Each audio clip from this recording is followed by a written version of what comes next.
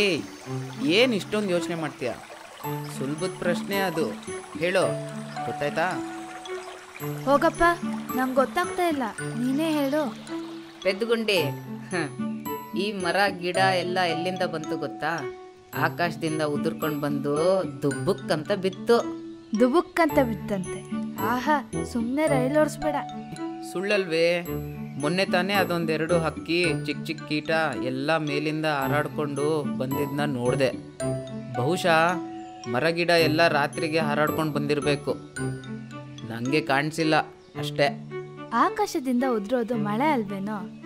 ಈ ಕಪ್ಪೆಗಳು ಇರುವೆಗಳು ಹುಳಗಳು ಆಮೆ ಎಲ್ಲ ಭೂಮಿ ಒಳಗಿಂದ ಬಂದಿದ್ದನ್ನ ನಾನು ನೋಡಿದ್ದೀನಿ.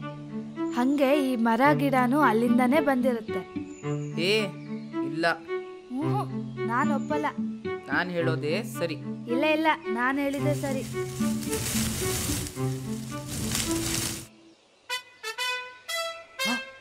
ಹಲೋ ಮಕ್ಕಳೇ ನೀವು ಚರ್ಚೆ ಮಾಡ್ತಿದ್ದ ವಿಷಯ ತುಂಬ ಮಜಾದ ವಿಷಯ. ನೀವಿಬ್ರು ತುಂಬ ಇಂಟ್ರೆಸ್ಟಿಂಗ್ ವಿಷಯನ ಚರ್ಚೆ ಮಾಡ್ತಾ ಇದ್ರಿ. ಗಿಡ ಮರಗಳ ಹುಟ್ಟಿನ ಬಗ್ಗೆ ನಿಮ್ಮ ಯೋಚನೆಗಳು ಚೆನ್ನಾಗಿವೆ.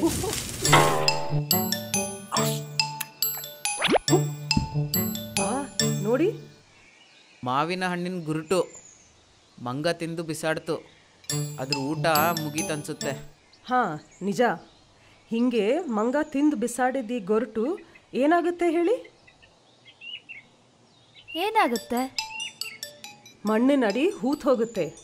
ನಿಧಾನಕ್ಕೆ ಗೊರಟೆ ಒಡೆದು ಅದರಿಂದ ಬೇರುಗಳು ಹೊರಗೆ ಬಂದು ಭೂಮಿಯಿಂದ ನೀರು ಹೀರ್ಕೊಂಡು ಭೂಮಿಯಡಿ ಬೆಳೀತಾ ಹೋಗುತ್ತೆ. ಚಿಗುರು ಬರೋಕ್ಕೆ ಶುರು ಆಗುತ್ತೆ ಅದೇ ಸಣ್ಣ ಸಸಿ ಆಗುತ್ತೆ. ಈ ಸಸಿ ಮತ್ತಷ್ಟು ನೀರು ಗೊಬ್ಬರ ಹೀರ್ಕೊಂಡು ಮರ ಆಗುತ್ತೆ.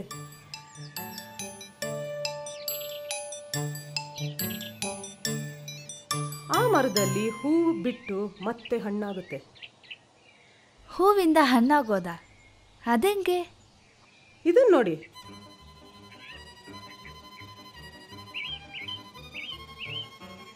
ಈ ಹೂವಿಗೆ ಎರಡು ಭಾಗಗಳಿದೆ. ಒಂದು ಗಂಡಿನ ಭಾಗ, ಇನ್ನೊಂದು ಹೆಣ್ಣಿನ ಭಾಗ. ಕೆಲವು ಹೂವಿನಲ್ಲಿ ಬರೀ ಹೆಣ್ಣು ಅಥವಾ ಗಂಡಿನ ಭಾಗ ಇರುತ್ತದೆ.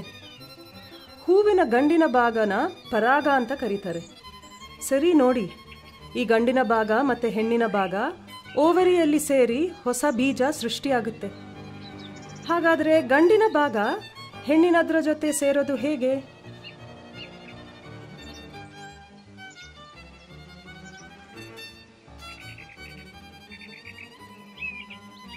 ಕೀಟಗಳು, ಮಳೆ, ಗಾಳಿ, ಪ್ರಾಣಿಗಳು ಹಣ್ಣಿನ ಬೀಜನ ಒಂದು ಕಡೆಯಿಂದ ಇನ್ನೊಂದು ಕಡೆಗೆ ತಗೊಂಡು ಹೋಗೋಕ್ಕೆ ಸಹಾಯ ಮಾಡ್ತವೆ.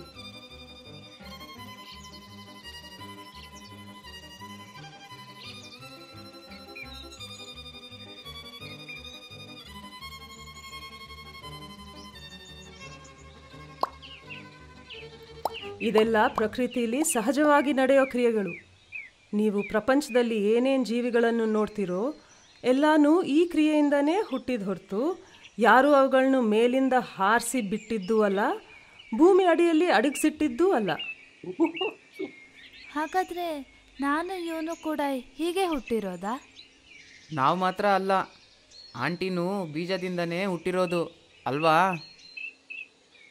ಈ ಮಕ್ಕಳು ಹುಟ್ಟೋ ಕ್ರಿಯೆ ಬೀಜ ಆಗೋ ಕ್ರಿಯೆ ಇದೆಲ್ಲನೂ ಪ್ರಜನನ ಕ್ರಿಯೆ, ವಂಶಾಭಿವೃದ್ಧಿ ಅಂತ ಕರೆಯಬಹುದು ಈ ಕ್ರಿಯೆಯಿಂದ ಈ ಭೂಮಿಯ ಎಲ್ಲ ಜೀವಿಗಳು ಸೃಷ್ಟಿಯಾಗೋದು.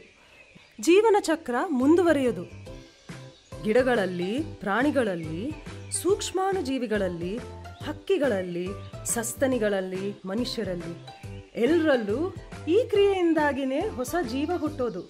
ಜೀವಿಯಿಂದ ಜೀವಿಗೆ ವಂಶಾಭಿವೃದ್ಧಿ ಪ್ರಕ್ರಿಯೆಯ ಸ್ವರೂಪ ಬೇರೆ ಬೇರೆ ಇರ್ಬೋದು. ಆದರೆ ಹೋಲಿಕೆಗಳು ತುಂಬ ಇವೆ.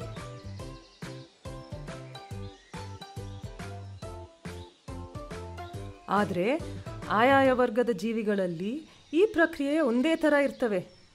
ಅಂದರೆ ಎಲ್ಲ ಮನುಷ್ಯರು ಹುಟ್ಟೋದು ಒಂದೇ ರೀತಿಲಿ. ಇವಳು ಹುಟ್ಟಿದ್ದು ಬೇರೆ ರೀತಿ, ನಾನು ಹುಟ್ಟಿದ್ದು ಬೇರೆ ರೀತಿ ಅಂತ ಹೇಳೋಕ್ಕಾಗಲ್ಲ ಮರಗಿಡಗಳ ಥರ ನಾವು ಒಂದು ರೀತಿಯಲ್ಲಿ ಬೀಜದಿಂದನೇ ಹುಟ್ಟಿದ್ದು. ಇದು ಒಂದು ದೊಡ್ಡ ಕತೆ ಅದನ್ನು ಪೂರ್ತಿ ಕೇಳೋಕ್ಕೆ ನಿಮಗೆ ಇಷ್ಟ ಇದೆಯಾ?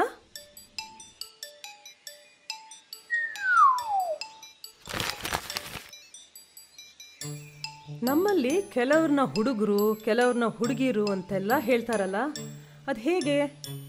ನಾನು ಹುಡುಗನಪ್ಪ. ನಾನು ಹುಡುಗಿ. ಹೌದೌದು ಸರಿ. ಆದರೆ ನೀವಿಬ್ರು ಒಂದೇ ಥರ ಇದ್ದೀರಾ? ನಾನು ಹೇಳ್ತೀನಿ ಅವಳಿಗೆ ಉದ್ದ ಕೂದಲಿದೆ. ನನಗೆ ಚಿಕ್ಕದು. ಅದು ಯಾಕಿರ್ಬೋದು? ಅವಳು ಯಾವಾಗಲೂ ಒಂದು ಸಲ ಕಟಿಂಗ್ ಶಾಪ್ಗೆ ಹೋಗ್ತಾಳೆ. ನಾನು ಹಂಗಲ್ಲ ತಿಂಗ್ಳಿಗೊಂದ್ಸಲ ಹೋಗ್ತೀನಿ. ನೀನು ಅವಳ ಥರ ಯಾವಾಗಲೋ ಒಂದ್ಸಲ ಹೋದರೆ ನಿನ್ನ ಕೂದಲು ಅದೇ ಥರ ಉದ್ದಾನೇ ಆಗುತ್ತೆ.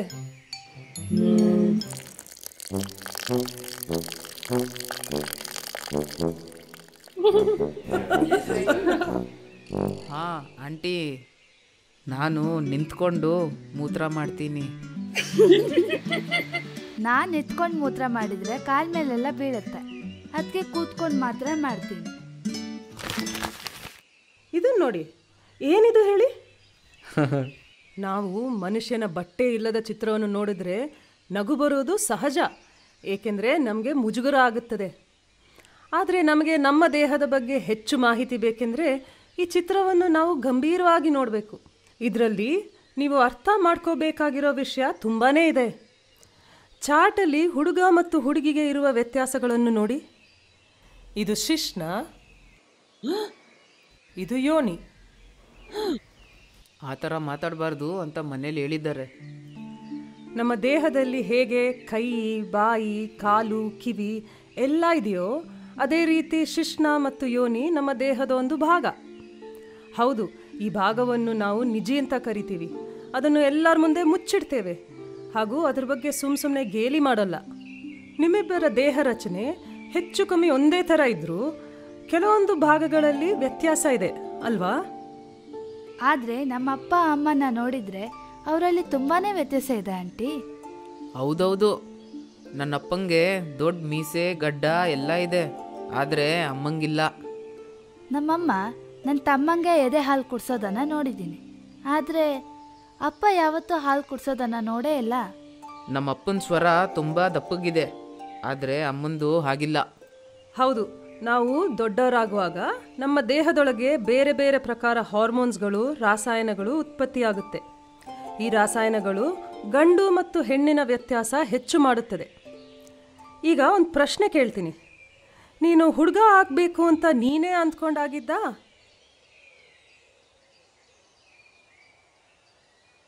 ನಾನು ಹುಡುಗ ಆಗಬೇಕು ಅಥವಾ ಹುಡುಗಿ ಆಗಬೇಕು ಅಂತ ಆಯ್ಕೆ ಮಾಡಿ ಆಗೋದಲ್ಲ. ನಾವು ಹುಟ್ತಾನೆ ಈ ಥರ ದೇಹರಚನೆ ಬಂದಿರುತ್ತೆ. ನಮ್ಮೆಲ್ಲರಲ್ಲೂ ವರ್ಣತಂತುಗಳಿಂದಾಗಿ ಈ ವ್ಯತ್ಯಾಸ ಕಾಣೋಕೆ ಸಿಗುತ್ತೆ. ನೀವು ಈ ವರ್ಣತಂತು ಅಥವಾ ಡಿ ಎನ್ ಎ ಅಲ್ಲ ಕ್ರೋಮೋಸೋಮ್ಸ್ ಅಂತ ಪದಗಳನ್ನ ಎಲ್ಲಾದರೂ ಕೇಳಿದ್ದೀರಾ ಅಂದರೆ ನಮ್ಮ ದೇಹದಲ್ಲಿರೋ ರಚನೆಗಳು. ಹುಡುಗನ ದೇಹದಲ್ಲಿ ಎಕ್ಸ್ ವೈ ತಂತುಗಳು ಹುಡುಗಿ ದೇಹದಲ್ಲಿ ಎಕ್ಸ್ ಎಕ್ಸ್ ತಂತುಗಳು ಹುಟ್ಟುತ್ತಾನೆ ದೇಹದಲ್ಲಿ ಇರುತ್ತವೆ. ಆ ಕಾರಣದಿಂದನೇ ಹುಡುಗ ಹುಡುಗಿ ಅಂತ ಕರೆಸ್ಕೊಳ್ತಾರೆ. ಅದೇ ರೀತಿ ಅನ್ಯಲಿಂಗಿಗಳು ಅಂತ ಇದ್ದಾರೆ. ಅನ್ಯಲಿಂಗಿ? ಹಾಂ ಈಗ ನೋಡು ಮಗು ಹುಟ್ಟಿದ್ರೆ ಗಂಡೋ ಹೆಣ್ಣೋ ಅಂತ ಹೇಗೆ ಹೇಳ್ತೀರಿ? ಅದರ ಜನನಾಂಗ ನೋಡಿ. ಕರೆಕ್ಟ್. ಕೆಲವೊಮ್ಮೆ ಏನಾಗುತ್ತಂದ್ರೆ ಹುಟ್ಟಿದ ಮಗುವಿನ ಜನನಾಂಗ ನೋಡಿ ಗಂಡೋ ಹೆಣ್ಣೋ ಹೇಳಲಿಕ್ಕಾಗಲ್ಲ. ಇಂತಹ ಮಕ್ಕಳು ತಾವು ಬೆಳೀತಾ ಬೆಳೀತಾ ನಾವು ಗಂಡಾಗಬೇಕೋ ಅಥವಾ ಹೆಣ್ಣಾಗಬೇಕು ಅಂತ ನಿರ್ಧಾರ ಮಾಡ್ತಾರೆ. ಇಂಥವರನ್ನು ಇಂಟರ್ಸೆಕ್ಸ್ ಅಂತೇವೆ. ಹ್ಞೂ ಆಂಟಿ ನಾನು ಇವರನ್ನು ನೋಡಿದ್ದೀನಿ. ನೀವು ನೋಡಿದ ಜನರಿಗೆ ಟ್ರಾನ್ಸ್ಜೆಂಡರ್ ಅಥವಾ ವಿಪರೀತ ಲಿಂಗಿ ಅಥವಾ ಅನ್ಯ ಲಿಂಗಿ ಎಂದು ಕರೆಯುತ್ತಾರೆ. ಅವರು ಹುಟ್ಟಿದಾಗ ಅವರ ಜನನಾಂಗ ಹುಡುಗ ಅಥವಾ ಹುಡುಗಿಯ ಹಾಗೇ ಇರುತ್ತದೆ. ಅವರಿಗೆ ಬೆಳೀತಾ ಬೆಳೀತಾ ತಾನು ಯಾವ ಲಿಂಗದಲ್ಲಿ ಹುಟ್ಟಿದ್ರೋ ಅದನ್ನು ಬಿಟ್ಟು ಬೇರೆ ಲಿಂಗದವರಾಗಿ ಇರಬೇಕಂತ ಅನಿಸ್ಲಿಕ್ಕೆ ಶುರುವಾಗುತ್ತೆ. ಅವರು ಈ ರೀತಿಯಲ್ಲಿ ತನ್ನ ಜೀವನವನ್ನು ನಡೆಸಬೇಕೆಂದು ಆಸೆ ತೋರಿಸುತ್ತಾರೆ. ಟ್ರಾನ್ಸ್ಜೆಂಡರ್? ನಮ್ಮಣ್ಣ ಚಕ್ಕ ಅಂತ ಹೇಳಿ ನಗ್ತಾನೆ. ಪ್ರಕೃತಿ ನನ್ನನ್ನು ಹುಡುಗಿಯಾಗಿ ಜನಿಸಿ ಮತ್ತೆ ನನಗೆ ನಾನು ಹುಡುಗಿ ಎಂಬ ಭಾವನೆ ಕೊಟ್ಟಿದೆ. ಹಾಗೆ ಇವರಿಗೂ ಕೂಡ. ಇವರ ಶರೀರ ಹಾಗೂ ಭಾವನೆಯ ರಚನೆ ಪ್ರಕೃತಿಯು ಕೊಟ್ಟಿದೆ. ಸಾರಿ ಆಂಟಿ ಹಾಗಿದ್ರೆ ನಾವು ಅವ್ರನ್ನ ಗೇಲಿ ಮಾಡಬಾರ್ದು. ಈಗಿಂದ ನಾನು ಗೇಲಿ ಮಾಡೋಲ್ಲ. ಹಾಂ ಒಳ್ಳೆಯದು ಈಗ ನಾವು ದೇಹದ ಬೆಳವಣಿಗೆಯ ಬಗ್ಗೆ ಸ್ವಲ್ಪ ಚರ್ಚೆ ಮಾಡುವ. ಈಗ ಗಿಡಗಳು ಹೇಗೆ ಬೆಳೆದು ಬೆಳೆದು ಮರಗಳಾಗ್ತವೋ ಹಾಗೆ ಮಕ್ಕಳು ಕೂಡ ದೊಡ್ಡವರಾಗ್ತಾರಲ್ಲ? ಎಲ್ಲರೂ ಹೇಳ್ತಾರೆ ಈ ಹುಡುಗಿ ದೊಡ್ಡವಳಾದ್ಲು. ಅವನು ಪ್ರಾಯಕ್ಕೆ ಬಂದ ಅಂತ. ಹಾಗೆಂದ್ರೆ ಏನು ಹೇಳಿ?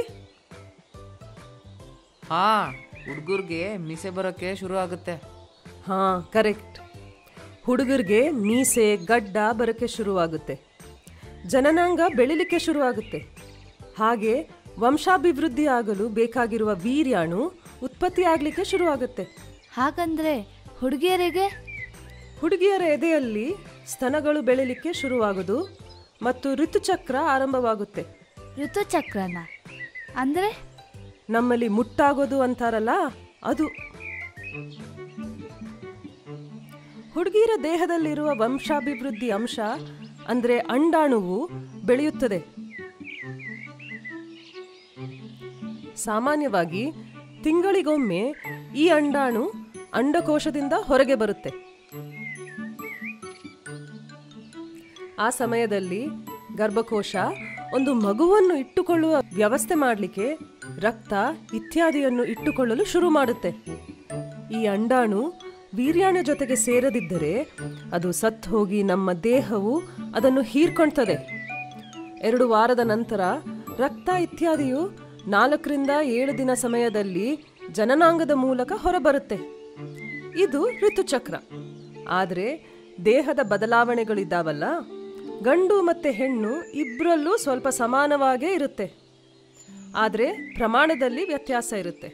ಅಂದರೆ, ಈಗ ಹುಡುಗರಿಗೆ ಗಡ್ಡ ಮೀಸೆ ಬರುತ್ತೆ ಅನ್ನಲ್ಲ, ಅದು ಹುಡುಗಿರ್ಗೂ ಬರುತ್ತೆ. ಆದರೆ, ಅದರ ಪ್ರಮಾಣ ಹುಡುಗರಿಗೆ ಹೋಲಿಸಿದ್ರೆ ತುಂಬ ಕಮ್ಮಿ. ಧ್ವನಿ ದಪ್ಪ ಆಗೋದು ಇಬ್ಬರಲ್ಲೂ ಆಗುತ್ತೆ. ಆದರೆ, ಹುಡುಗರಲ್ಲಿ ಈ ಪ್ರಮಾಣ ಜಾಸ್ತಿ. ಎದೇನೂ ಹಾಗೆ. ಹುಡುಗಿರಿಗೆ ಜಾಸ್ತಿ ಬರುತ್ತೆ, ಹುಡುಗರಿಗೆ ಕಮ್ಮಿ. ಹುಡುಗರಲ್ಲಿ ವೀರ್ಯ ಉತ್ಪತ್ತಿಯಾಗುತ್ತೆ, ಹುಡುಗಿರಲ್ಲಿ ಅಂಡಾಣು. ಇವರಲ್ಲಿ ಗರ್ಭಕೋಶ ಇರೋದ್ರಿಂದ ಋತುಸ್ರಾವ ಆಗುತ್ತೆ. ಮನುಷ್ಯರ ಅಂಗಾಂಗಗಳು ಸುಮಾರು ಹನ್ನೊಂದರಿಂದ ಹದಿನಾರು ವರ್ಷದೊಳಗೆ ಯಾವಾಗಲಾದರೂ ಈ ಥರದ ಬದಲಾವಣೆಗಳು ಆಗ್ಬೋದು ಎಲ್ಲರಿಗೂ ಒಂದೇ ವಯಸ್ಸಿನಲ್ಲಿ ಹೀಗಾಗುತ್ತೆ ಅಂತ ಹೇಳೋಕ್ಕಾಗಲ್ಲ.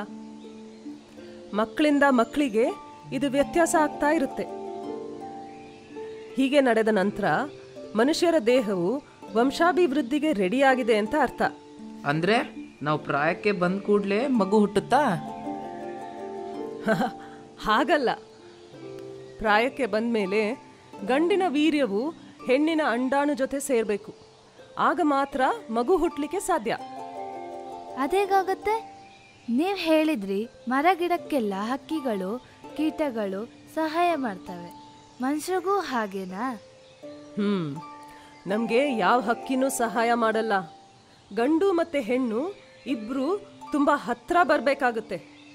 ಅಂದರೆ ಹುಡುಗ ಹುಡುಗಿ ಪಕ್ಕದಲ್ಲಿ ಕೂತ್ಕೊಂಡ್ರೆ ಮಗು ಹುಟ್ಟುತ್ತಾ? ಇಲ್ಲ. ಅಂಡಾಣು ವೀರ್ಯಾಣು ಜೊತೆಗೆ ಸೇರಬೇಕು. ಅಂಡಾಣು ಹುಡುಗಿಯ ದೇಹದೊಳಗಿದೆ. ಈ ಕಾರಣಕ್ಕೆ ವೀರ್ಯಾಣು ಗರ್ಭಕೋಶದ ಹತ್ರ ಬರಬೇಕು. ಇದಕ್ಕೆ ಗಂಡು ಹೆಣ್ಣಿನ ಜನನಾಂಗಗಳು ಸೇರ್ಬೇಕಾಗುತ್ತೆ.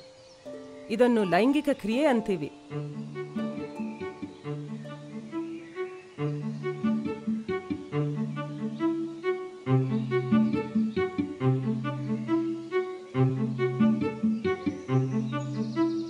ಈ ಲೈಂಗಿಕ ಕ್ರಿಯೆಯಿಂದ ಒಟ್ಟು ಸೇರಿದ ವೀರ್ಯ ಮತ್ತು ಅಂಡಾಣುವಿನಿಂದ ಭ್ರೂಣ ಹುಟ್ಟುತ್ತದೆ. ಈ ಭ್ರೂಣ ಒಂದು ಬೀಜ ತರ ಅದೇ ಹೊಸ ಮಗು. ಅದು ಹೆಣ್ಣಿನ ಗರ್ಭಕೋಶದಲ್ಲಿ ಒಂಬತ್ತು ತಿಂಗಳ ಕಾಲ ಬೆಳೆದು ಯೋನಿಯ ಮೂಲಕ ಹೊರಬರುತ್ತದೆ. ಲೈಂಗಿಕ ಕ್ರಿಯೆ ಅನ್ನೋದು ಒಂದು ಖಾಸಗಿ ವಿಷಯ. ಹಾಗಾಗಿ ನಾವು ಬೇರೆಯವರ ಎದುರಿಗೆ ಮಾಡಲ್ಲ. ಹಾಗಂದ್ ಮಾತ್ರಕ್ಕೆ ಇದು ತಪ್ಪು ಅಂತ ಅನ್ಕೋಬೇಡಿ. ಅದಕ್ಕೆ ಅದರದ್ದೇ ಆದ ಗೌರವ ಇದೆ. ಇದರಿಂದಲೇ ನಾವೆಲ್ಲರೂ ಹುಟ್ಟಿರೋದು. ಓಹೋ ಹಾಗಾದ್ರೆ ಮಗು, ಹುಡುಗ ಅಥವಾ ಹುಡುಗಿ ಆಗೋದು ಅಂಡಾಣದಲ್ಲಿದೆಯಾ ಅಥವಾ ವೀರ್ಯಾಣ್ಯದಲ್ಲಿದೆಯಾ ತುಂಬ ಒಳ್ಳೆ ಪ್ರಶ್ನೆ. ಹುಡುಗ ಮತ್ತು ಹುಡುಗಿ ಆಗುವ ತಂತುಗಳು ವೀರ್ಯಾಣುಗಳಲ್ಲಿದೆ ಎಲ್ಲ ಅಂಡಾಣುಗಳಲ್ಲಿ ಎಕ್ಸ್ ತಂತುಗಳಿದೆ. ವೀರ್ಯಾಣುಗಳಲ್ಲಿ ಎರಡು ಪ್ರಕಾರ ಇವೆ. ಒಂದು ಎಕ್ಸ್ ಮತ್ತು ಇನ್ನೊಂದು ವೈ ಎಕ್ಸ್ ತಂತು ಅಂಡಾಣು ಜೊತೆಗೆ ಸೇರಿದರೆ ಹೆಣ್ಮಗು ಆಗುತ್ತೆ. ವೈ ತಂತು ಅಂಡಾಣು ಜೊತೆ ಸೇರಿದ್ರೆ ಗಂಡು ಮಗು ಆಗುತ್ತೆ. ಆಂಟಿ ನನಗೀಗ ನೆನಪಾಯ್ತು. ನನ್ನ ಚಿಕ್ಕಮ್ಮನ ಹೊಟ್ಟೆ ಎಷ್ಟು ದೊಡ್ಡದಾಗ್ಬಿಟ್ಟಿತ್ತು. ಒಂದು ಮಗು ಆಚೆ ಬಂತು. ನಾನು ಆಸ್ಪತ್ರೆಗೆ ನೋಡಕ್ಕೆ ಹೋಗಿದ್ದ ಅಲ್ಲ ಇಷ್ಟು ದೊಡ್ಡ ಮಗು ಚಿಕ್ಕಮ್ಮನ ಹೊಟ್ಟೆ ಒಳಗೆ ಹೆಂಗೆ ಹೋಯ್ತು ಅಂತ ಗಾಬರಿ ಪಡ್ಕೊಬಿಟ್ಟಿದ್ದೆ ಈಗ ಗೊತ್ತಾಯ್ತು. ಏನು ಯೋಚಿಸ್ತಾ ಇದೆಯಾ? ಏನಾದರೂ ಕೇಳಬೇಕಾ?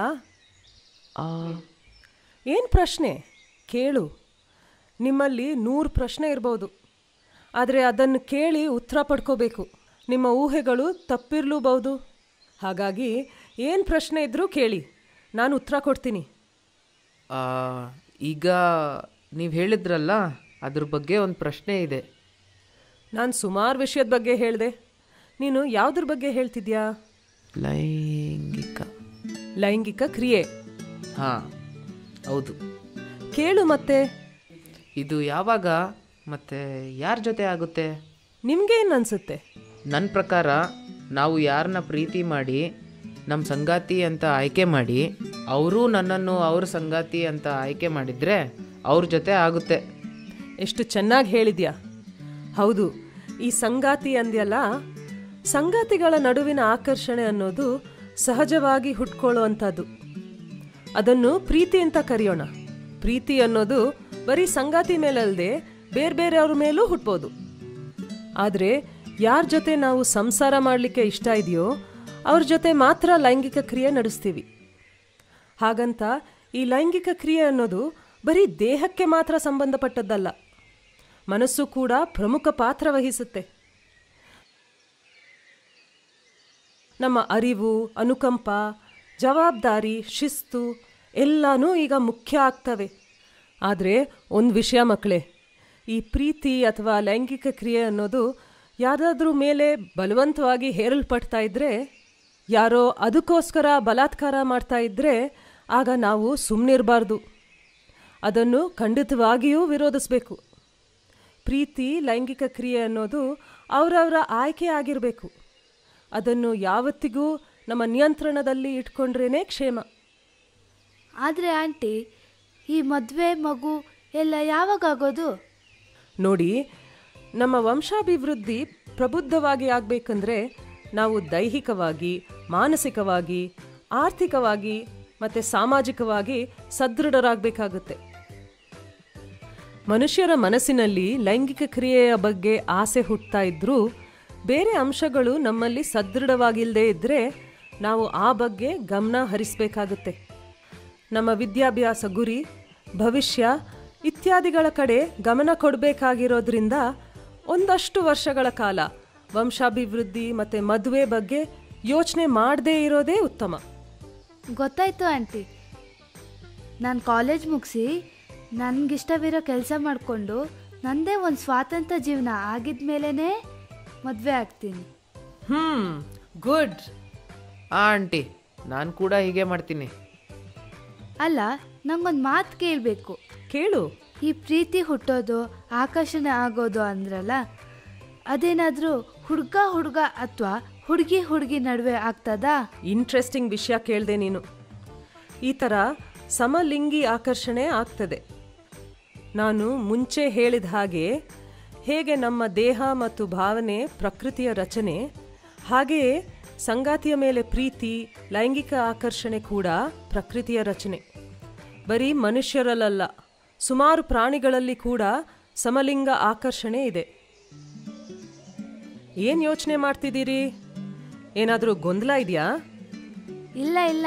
ಹುಟ್ಟಿನಿಂದೆ ಎಷ್ಟೆಲ್ಲ ವಿಷಯ ಇದೆಯಲ್ಲ ಅಂತ ಆಶ್ಚರ್ಯ ಅನಿಸ್ತಿದೆ. ಆದರೂ ಇಷ್ಟೆಲ್ಲ ತಿಳ್ಕೊಂಡಿರೋದಕ್ಕೆ ಸಿಕ್ಕಾಪಟ್ಟೆ ಖುಷಿ ಆಗ್ತಿದೆ. ನಿಮ್ಮಲ್ಲಿ ಇನ್ನೂ ಏನಾದರೂ ಪ್ರಶ್ನೆಗಳಿದ್ರೆ ಯಾರಾದರೂ ದೊಡ್ಡವ್ರ ಹತ್ರ ಕೇಳಿ ಉತ್ತರ ಪಡ್ಕೋಬಹುದು ಹೌದೌದು. ಮನೇಲಿ ಇಷ್ಟೆಲ್ಲ ಕೇಳಿದ್ದಿದ್ರೆ ಅವರು ನಮಗೆ ಬಿಡಿಸಿನೇ ಹೇಳುವುದಿಲ್ಲ. ನಿಮ್ಮಿಂದಾಗಿ ತುಂಬಾ ವಿಷಯ ತಿಳಿಯಿತು. ಥ್ಯಾಂಕ್ ಯು ಆಂಟಿ ನಾನು ಹೇಳಿದ್ದೆಲ್ಲ ನೆನ್ಪಿಟ್ಕೊಳ್ತೀರಾ ತಾನೇ? ಓಕೆ ಬಾಯ್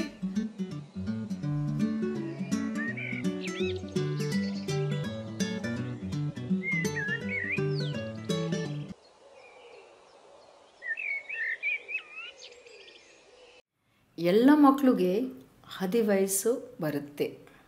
ನಮ್ಮ ಯೌವನ ಅವಸ್ಥಾನಲ್ಲಿ ಹೋಗಲೇಬೇಕು.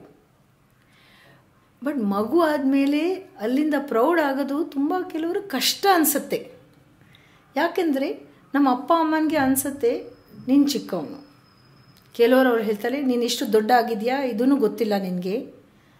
ನಾನೇ ಕನ್ಫ್ಯೂಸ್ ಆಗಿಬಿಡ್ತೀನಿ. ನಾನೇನು ನಾನು ಚಿಕ್ಕವನು ಇಲ್ಲ ದೊಡ್ಡವನು. ಮತ್ತು ಅವ್ರೇನು ಹೇಳ್ತಾರೆ? ನಿನಗೆ ಇದು ಮಾಡಬೇಕು, ಅದು ಮಾಡಬೇಕು. ಬಟ್ ಆವಾಗ ನನಗೆ ತುಂಬ ಯೋಜನೆ ಬರುತ್ತೆ. ನಾನು ಯಾರು? ನನಗೆ ಏನು ಮಾಡೋಕ್ಕೆ ಇಷ್ಟ? ಮುಂದೆ ನಾನು ಮಾಡಿ ಏನು ಮಾಡ್ತೀನಿ? ಆವಾಗ ನನಗೆ ಅನಿಸುತ್ತೆ, ಹುಡುಗ ಅವ್ರಿಗೆ ಅನಿಸುತ್ತೆ, ಹುಡುಗಿ ಕಡೆ ನಮಗೆ ಸ್ವಲ್ಪ ಅಟ್ರ್ಯಾಕ್ಷನ್ ಬರ್ತಾ ಇದೆ. ಹುಡುಗಿಯವ್ರಿಗೆ ಅನಿಸುತ್ತೆ ಹುಡುಗವ್ರ ಕಡೆ ಅಟ್ರ್ಯಾಕ್ಷನ್ ಆಗುತ್ತೆ. ನಾನು ನೋಡಲಿಕ್ಕೆ ಯಾವ ಥರ ಆವಾಗ ನನಗೆ ನಾನು ಅಟ್ರ್ಯಾಕ್ಟಿವ್ ಇದ್ದೀನಿ ನನ್ನ ಲುಕ್ಸ್ ಯಾವ ಥರ ಅದ್ರ ಮೇಲೆ ತುಂಬ ನಾನು ಜಾಸ್ತಿನೇ ಫೋಕಸ್ ಮಾಡ್ತೀನಿ. ಎಲ್ಲ ಪಿಕ್ಚರ್ನಲ್ಲಿ ಹೀರೋ ಹೀರೋಯಿನ್ ತುಂಬ ಚೆನ್ನಾಗಿ ಕಾಣಿಸೋದು. ನಮ್ಮ ಮನೆಯಲ್ಲಿ ನೆಂಟರು ಬಂದರೆ, ಏಯ್, ನೀನು ದಪ್ಪ ಇದೆಯಾ? ನೀನು ಸಣ್ಣಾಗಿದೆಯಾ? ಇಲ್ಲ, ನೀನು ತುಂಬ ಕುಳ್ಳುಗೆ ಇದ್ದೀರಾ? ಆ ಥರ ಹೇಳ್ತಾನೆ ಇರ್ತಾರೆ. ಅದು ಕೇಳಿದರೆ ನನಗೆ ತುಂಬ ಬೇಜಾರಾಗುತ್ತೆ. ಕೆಲವು ಟೈಮ್ ನೆಂಟರ ಜೊತೆ ಮಾತಾಡಲಿಕ್ಕೆ ಇಷ್ಟ ಆಗಲ್ಲ. ಆವಾಗ ನನಗೆ ನನ್ನ ರೂಮ್ನಲ್ಲಿ ಕೂತ್ಕೊಂಡು ತುಂಬ ಇಷ್ಟ. ಅಲ್ಲಿ ನಾನು ಕೂತ್ಕೊಂಡು ಯೋಜನೆ ಮಾಡ್ತೀನಿ. ಇಲ್ಲ, ನಾನು ಬುಕ್ಸ್ ಓದ್ತೀನಿ. ಅಷ್ಟೇ ಸಾಕು. ನನ್ನ ಅಪ್ಪ, ಅಮ್ಮಗೆ ಅನಿಸಲ್ಲ. ಏಯ್, ಬಾರು. ಬಾ. ಮಾತಾಡೋ ಎಲ್ಲರ ಜೊತೆ ಮಾತಾಡಬೇಕು. ಅವ್ರಿಗೆ ಆವಾಗ ನನಗೆ ಸ್ವಲ್ಪ ಪ್ರೈವಸಿ ಬೇಕು ಅವ್ರಿಗೆ ಅರ್ಥ ಮಾಡ್ಕೊಳ್ಳೋಕ್ಕೆ ಕಷ್ಟ. ಇನ್ನೊಂದು, ಎಲ್ಲವ್ರದ್ದು ಪ್ರೌಢಾವಸ್ಥೆ ಒಟ್ಟಿಗೆ ಶುರು ಆಗಲ್ಲ. ಕೆಲವರು ಹುಡುಗವ್ರಿಗೆ ಕ್ಲಾಸ್ ಫೈವ್ನಲ್ಲಿ ಮೀಸೆ ಬರೋದು, ಕೆಲವ್ರಿಗೆ ಹತ್ತನೇ ಕ್ಲಾಸ್ನಲ್ಲಿ ಮತ್ತು ಆವಾಗ ಎಲ್ಲರೂ ಟೀಸ್ ಮಾಡ್ತಾರೆ, ರೇಗಿಸ್ತಾರೆ. ಏಯ್ ನಿನ್ನ ಕೂದಲು ಬಂತು. ಇಲ್ಲ, ನೀನು ಬಂದೇ ಇಲ್ಲ. ನಿನ್ನ ಹುಡುಗಿನ ಆ ಥರ ಹೇಳ್ತಾರೆ. ಅವ್ರಿಗೆ ಬುದ್ಧಿ ಬರಬೇಕು. ಎಲ್ಲವರು ಟೈಮಿಂಗ್ ಬೇರೆಯೇ ಹುಡುಗಿಯವ್ರದ್ದು ನೋಡಿ, ಕೆಲವರು ಅವ್ರು ಬೇಗ ಮೆಚೂರ್ ಆಗ್ತಾರೆ. ಇವಾಗ ಒಂಬತ್ತು ಹತ್ತು ವರ್ಷನಲ್ಲಿನೇ ಮೆಚೂರ್ ಆಗ್ತಾರೆ. ಕೆಲವರು ಹದಿನೈದು, ಹದಿನಾರು ವರ್ಷ ತನಕನೂ ಮೆಚೂರ್ ಆಗಬಹುದು. ಮತ್ತು ಮೆಚೂರ್ ಆದರೆ ಹುಡುಗಿಯರಿಗೆ, ಏಯ್, ಅಲ್ಲಿ ಹೋಗಬಾರ್ದು, ಇಲ್ಲಿ ಹೋಗಬಾರ್ದು, ಇದು ಮುಟ್ಬಾರ್ದು, ಅದು ಮುಟ್ಬಾರ್ದು. ಅದು ಹೇಳೋದು ತಪ್ಪು. ಹುಡುಗಿಯರಿಗೂ ಎಲ್ಲ ಫ್ರೀಡಮ್ ಇರುತ್ತೆ. ಎಲ್ಲ ಕಡೆನೂ ಹೋಗ್ಬೋದು ಓದಬೇಕು ಆತ ಮಾಡಬಹುದು ಎಲ್ಲ ಮಾಡಬೇಕು. ಈ ಯೌವನವಸ್ಥದಲ್ಲಿ ಸುಮಾರು ಸಲ ತುಂಬ ಕನ್ಫ್ಯೂಷನ್ ಇರುತ್ತೆ. ಬೇರೆ ಬೇರೆ ಭಾವನೆನೂ ಬರುತ್ತೆ. ಕೆಲವು ಟೈಮ್ ತುಂಬ ಕೋಪ ಬರುತ್ತೆ. ಅಮ್ಮ, ಅಪ್ಪ ಏನಾದ್ರೂ ಹೇಳಿದ್ರೆ ಕೋಪ ಬರುತ್ತೆ. ನಮ್ಮ ತಮ್ಮ ಮೇಲೆ, ತಂಗಿ ಮೇಲೆ ಕೋಪ ಬರುತ್ತೆ. ಆವಾಗ ಅನ್ಸತ್ತೆ ಯಾರು ಬೇಡ. ಕೆಲವರು ಅನ್ಸತ್ತೆ ನನಗೆ ತುಂಬ ಖುಷಿ ಆಗ್ತದೆ. ಕೆಲವರು ಒಂದು ಡಿಪ್ರೆಷನ್ ಥರನೇ ಆಗಿಬಿಡುತ್ತೆ. ಕೆಲವು ಟೈಮ್ ನಮಗೆ ಸ್ಕೂಲ್ನಲ್ಲಿ ಯಾರು ಇಲ್ಲ ಮನೆಯಲ್ಲಿ ನನಗೆ ಅಂಡರ್ಸ್ಟ್ಯಾಂಡ್ ಮಾಡೋರು ಯಾರೂ ಇಲ್ಲ. ಆವಾಗ ನಾನೇನೋ ದೊಡ್ಡ ಹೆಜ್ಜೆ ತಗೊಳ್ಳಿಕ್ಕೆ ಅನಿಸ್ತೀವಿ. ಬಟ್ ಇರು. ಸ್ವಲ್ಪ ಹೊತ್ತು ಇರು. ಸ್ವಲ್ಪ ವಿಚಾರಿಸಿ. ಮತ್ತು ನಿಮ್ಮ ಫ್ರೆಂಡ್ಸ್ನಲ್ಲಿ ಇಲ್ಲ ನಿಮಗಿಂತ ಸ್ವಲ್ಪ ದೊಡ್ಡವರು ಅಣ್ಣ ಇರ್ಬೋದು, ಅಕ್ಕ ಇರ್ಬೋದು, ಚಿಕ್ಕಮ್ಮ ಇರ್ಬೋದು, ಅವ್ರ ಜೊತೆ ಮಾತಾಡಿ. ನನಗೆ ಈ ಥರ ಆಗತ್ತೆ. ನಾನು ಏನು ಮಾಡಲಿ? ಕೆಲವು ಟೈಮ್ ಹೆಲ್ಪ್ಲೈನು ಇರುತ್ತೆ. ಟೆನ್ ನೈನ್ ಏಯ್ಟ್ ಅಂತ ಹೆಲ್ಪ್ಲೈನ್ ಇದೆ. ಮತ್ತು ಸಹಾಯ ಅಂತ ಹೆಲ್ಪ್ಲೈನ್ ಇದೆ, ಆ ಥರ ಸಾಕಷ್ಟು ಹೆಲ್ಪ್ಲೈನ್ ಇದೆ. ನಾವು ಫೋನ್ ಮಾಡ್ಕೊಂಡು ಕೇಳ್ಬೋದು ಯಾರೊಬ್ರಿಗೆ. ನೋಡ್ರಿ, ನನಗೆ ಈ ಥರ ಯೋಜನೆ ಬರ್ತಾ ಇದೆ ನಾನು ಏನು ಮಾಡಲಿ?